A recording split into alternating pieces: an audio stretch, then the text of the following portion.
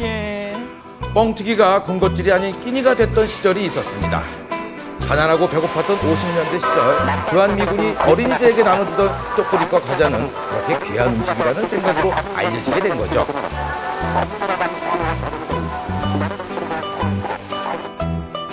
(60년대에는) 공장이 설립되면서 본격적으로 과자가 출시되었습니다. 그리고 저는 이것만 있으면 세상을 다 가진 것 같았는데요. 고모가 집에 올 때마다 샀던 바로 그거 과자 종합 선물 세트.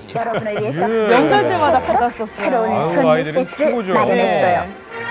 저거만한 게 없었어요. 우리나라에는 네. 간식거리라고 하는 게 뭐 뻥튀기나 꽈배기 정도밖에는 없던 시절이었는데 그때 새우깡이 나오면서 우리나라 최초의 스낵으로 자리 잡았습니다. 새우깡을 구하기 위해서 지방에서부터 올라온 트럭들이 정말 문전성시를 이룰 정도로 큰 반향을 일으켰습니다. 깡깡깡. 너무 나는 맛 최장수 좋은 과자죠. 그러나 호주머니 울리는 쑥갓. 시중에 유사품이 많으니 사실 땐꼭 쑥갓을 확인해 주십시오. 유사품이 많았나요?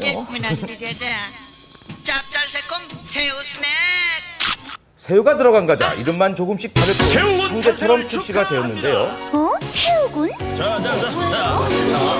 새우구는 뚜깡 동생임? 옥수수와 새우가 만나?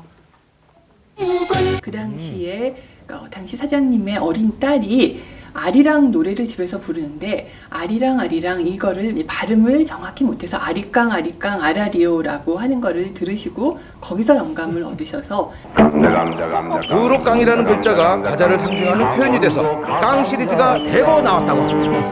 여보세요. 양파깡 하나 양파 맛도 있었고요. 영양식, 미용식은 물론 자라는 어린이의 건강식으로도 적합한 새로운 깡입니다. 저 노래 참 기억나죠? 맛이 들어간 깡도 있었습니다.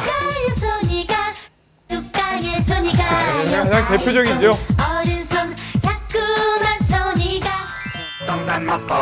아, 저 노래 잊을 수가 없어요. 아, 그럼요. 땅콩이 들어갔던 거.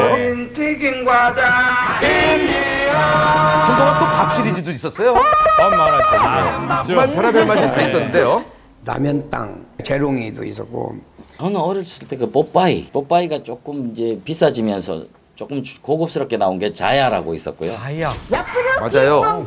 그 당시에 저것 때문에 엄마 10원만 하는 말을 입에 달고 살았죠, 우리. 엄마 10원만. 아, 저 10원이었어요? 라면 땅 생각나면 기본이면 오케이. 자꾸 자꾸 먹어도 자꾸 자꾸 먹고 싶은 그리고 한때는 건강을 강조한 과자 광고가 유행하기도 했습니다. 일곱 가지 신선한 야채로 만든 야채가 또 과자가 되기도 했고요. 싱싱한 야채 신선해서 골랐어요. 골랐어요 알콩하면 생각나는 분이 있는데요. 바로 영원한 뽀빠이 이상용 씨입니다. 예. 어우, 알통과. 아, 요즘도 여전하시네요. 지금 여전하시네요. 시에 뽀빠이 만화 영화가 유명했어요. 만화 영화 살려주세요 하는 거. 맞아요. 그때 내가 나왔어요.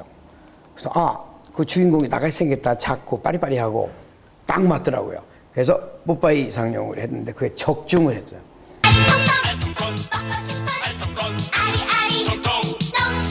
딴 근데 마스크는 왜 쓰셨을까요? 했다고 그러는 데 있고 그러는데 그게 말이 되나 그 당시 더군다나 안형을 갖고 계속 물 픽픽픽 뿌리는 거 물 땀 난 것처럼 하고 지금 보면 못할 것 같아요.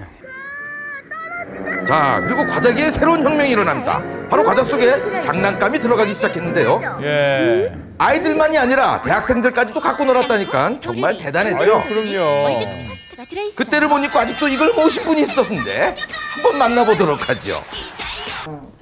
엄마야? 우와. 아, 이렇게 또 이렇게 모아주셨어요? 종류가 많았어요? 한 200개 되는데요. 이 따조 종류가 많거나 없는 따조가 있는 학생들이 좀 인기가 있었고 아. 홀로그램 따조는 더 인기가 있었답니다. 맞아요. 기억나네요. 기가 막히네요. 날릴 수도 있어요. 과자를 엄청 많이 깔끔하게. 보관하고 계세요. 두 봉지 세 봉지 정도 사서 먹고 과자도 좋아했는데 따조가 더 좋아서 많이 구입 했습니다. 80년대 과자 광고에 최고의 인기 스타들이 대거 등장하는데요. 네. 당시에 과자 광고 모델이라는 것은 진짜 탑스타라는 것을 증명하는 거였죠. 그렇죠, 그렇죠. 이상하지. 어, 이상하지. 샤브이도 먹고 꽈배기 등 이게 누군가요? 아카시아 꿀 꽈배기. 정재희 아니에요? 예. 삼촌 그리고 당대 탑스타라고 주장하시는 이상우 씨도 한번 그 만나봐. 당시에 이상호 이제 씨.